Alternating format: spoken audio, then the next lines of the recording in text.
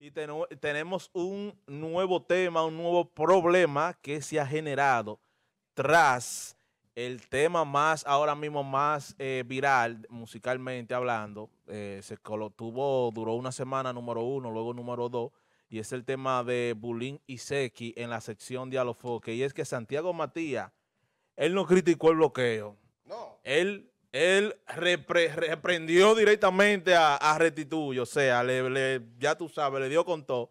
Eh, critica el bloqueo de la sesión 7 y señala a Restituyo por, afectar el movimiento urbano. Señores, eh, yo te voy a explicar ahora quién es Restituyo. Villalona, continúe para explicarle quién es Restituyo. Sí, vamos primero entonces a contarles que el empresario y figura de entretenimiento, Santiago Matías, eh, generó controversia en las redes tras expresar su malestar por el bloqueo de la canción 7 que incluyó a, los artistas urbanos mencionados. Y eh, por eso, pues hemos visto a Bullying 47 que ha generado mucha preocupación tras los mensajes que difundió en, la red, en su red social Instagram, que por cierto borró después de un tiempo. Solamente quedaron las capturas que por cierto, que por supuesto, pues rodaron por internet. Miren, eh, le voy a explicar ahora quién es eh, José, José Retituyo, JC Retituyo. Este, esta figura eh, de Restituyo, el nombre, sale a relucir por allá por 2016-2017. Restituyo es, ustedes ven cuando ustedes le mandan un copyright en YouTube, un bloqueo, ¿me ¿entiendes? Restituyo son de las personas que trabajan esa parte interna de los artistas y la figura para, para proteger el contenido y comercializarlo en las plataformas digitales. Restituyo es un, es un, ¿cómo que se le dice? De la que tienen, se me ve esta, esta, palabra. Es, es un eh, de los que tienen récord musicales, se me fue una un diquero. Restituye es un diquero y un distribuidor de la música.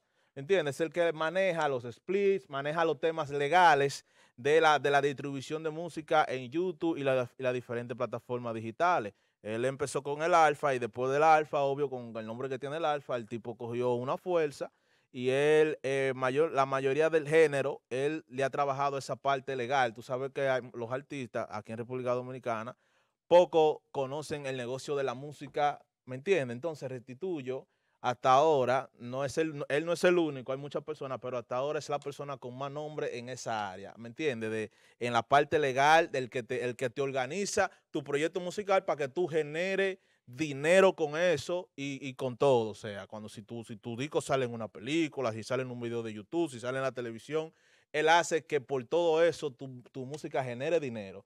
Es una persona que no se menciona mucho, solo lo conocen las personas que han estado vinculados al movimiento o conocen del movimiento, porque es una persona que está ahí detrás de cámara, ¿me entiendes? Entonces, eh, hace un tiempo Restituyo tiene un problema, tuvo un problema con Santiago, porque Santiago, no sé, tienen, no sé, no le vio buena vibra al chamaquito. Restituyo se ha hecho de dinero con el Alfa, pero ha tenido muchos problemas con muchos artistas. No desde ahora que Restituyo viene sonando con problemas porque no entrega un dinero, porque le falta un dinero a otro artista y esto. Ha tenido varios problemas. Con el mismo Bulín él ha tenido problemas porque al parecer él le da los contratos, pero no le, no le lee la letra chiquita, entonces el artista cuando no recibe una X cantidad de dinero que él entiende que tiene que recibir, entonces hay un problema. Obvio, él hace contrato de, con, estos artistas, en este caso con Bulín, que él lo tiene firmado, también trabaja Lápiz, que por ahí yo sé que también hay un chipeo, porque Restituyo trabaja con Lápiz, trabaja con el mismo Alfa, y trabaja varios artistas. Entonces, en esta ocasión, el tema de, con sonido, ¿qué se llama? Supuestamente Santiago Ay presentó donde él firmó, eh, se afirmaron el split. El split son los derechos que le dan a Santiago para él, la imagen y la música de Bulín eh, pueda salir en su plataforma y, ellos poder, y, ellos poder, y ellos poder monetizar. Él dijo que Restituyo no lo había firmado. Bulín. Bulín, yo creo que fue que lo firmó. Entonces, eh, al parecer, luego de todo, luego de todo este escándalo y vaina, el tema coge su fuerza, se, se coloca tendencia 1 y Restituyo, por como tiene la fuerza y tiene cómo, tumbó el tema de YouTube. ¡Fum! Ustedes no se van a buscar, sí, sí, ¿me entiendes? Con lo mío. Porque él, él es el que está a cargo de eso, pero supuestamente Santiago dice que ellos hablaron, que se habló, que se habló de, la, de, los contratos que se hicieron, porque Santiago no, no dice que tú te vas a parar ahí, tú vas a decir, ay, ya dije que eso yo lo cogí, eso es firmado todo, todo el que participó ahí tiene que firmar para que los por ciento se dividan, ¿me entiendes? Que eso es lo que trabaja Restituyo. Pero al parecer Santiago también tiene ya su vaina aparte, su, dique, su diquera aparte, para, para, para él hacer todo esos contratos y toda esa vaina.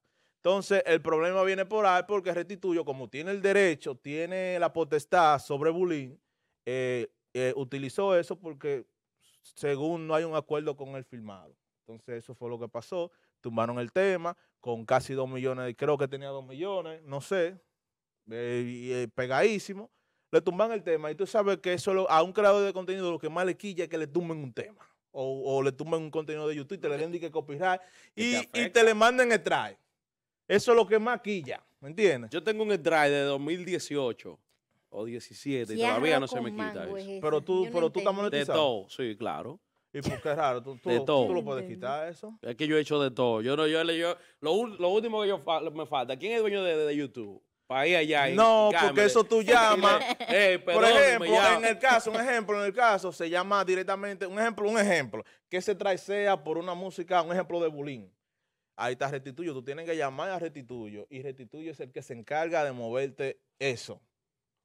No lo quité. llame ahora. Un ejemplo, te estoy poniendo un ejemplo. Ese trae, tú tienes que analizarlo y tienes que ver de dónde que viene y comunicarte con la compañía que yo, tiene yo borré video, eh, yo eh, hice un escrito, envié la notificación y le explicaba porque yo realmente en ese entonces no conocía, eh, las reglas de Las YouTube, que incluso YouTube.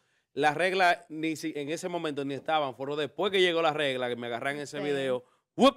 Ajá. Entonces, lo que pasa es que tú tienes que, comunicarte con la compañía que se encarga de distribuir de donde salió ese traje. Entonces, ahí es que, ahí que tú tienes que tratar de llegarle si yo te cojo en el teléfono. Pero es, bueno, es bueno resolver ese tipo de cosas y es bueno cuid- cuidar el contenido en las redes sociales, los creadores de contenido, cero música, cero video, cero, porque estos tigres, como restituyo, que cuidan tan para cuidar el proyecto, tan en, ¿me entiendes? Por ejemplo, Restituyo puede hacer que, un ejemplo, este contenido, nosotros estamos hablando de bullying y Villalona le pone el título, le pone el nombre de bullying, Restituyo puede mandar un strike por eso. Y puede, y puede, y puede, y puede, y puede tumbar el tema por tener la palabra, por tener el nombre bullying 47.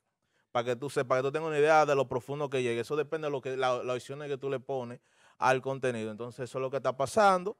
Restituyo tumba el tema de, la plataforma, de toda la plataforma digital y hay un lío y ya ustedes escucharon ahí sobre Santiago, dijo, que dijo que Bulín si lo encuentra mal puesto, fácilmente se lo lame porque el chamaquito es palomo. Porque en vez de usted tumbar un tema, de afectar un canal de YouTube que está generando miles de dólares, usted tiene que acercarse a la persona a hablar. Supuestamente ellos hablaron, pero no quedaron en buenos términos y la vaina se está creando, se está poniendo tensa realmente. Bueno, eh, yo sí había visto la imagen de Bulín antes de eliminarla. Entonces, donde él publicaba a sí mismo, que incluso es lo que estaba diciendo Villalona, conchale, justo un día como hoy que se está proviniendo cosas violentas, ¿verdad? Entonces, que pase ese comentario y se pudo ver. Entonces, eh, como dicen ellos, está- se manejó de una manera la cual no es la correcta, restituyo en este caso. Porque si ya, y luego después de par de días, pues ya han pasado par de días. Entonces, él estaba diciendo también, aclárame, Porque tumba lo de Ajá, exacto. Y aclárame eso, que él estaba diciendo, no sé si fue el que dijo, como que era el 30 de este mes, que se terminaba aquí. Sí, di que, se termine el contrato de bullying. Pero con él, Ajá, con él. con él. Sí. Están ahí, eh, lee, lee lo que dice Restituyo Leo, Villalona, Villa. hágame el favor, que lo que él dijo ahí, de por qué él lo hizo. Eh, nadie quería hacer nada con Bulín cuando estaba en Facebook haciendo videos en barbería.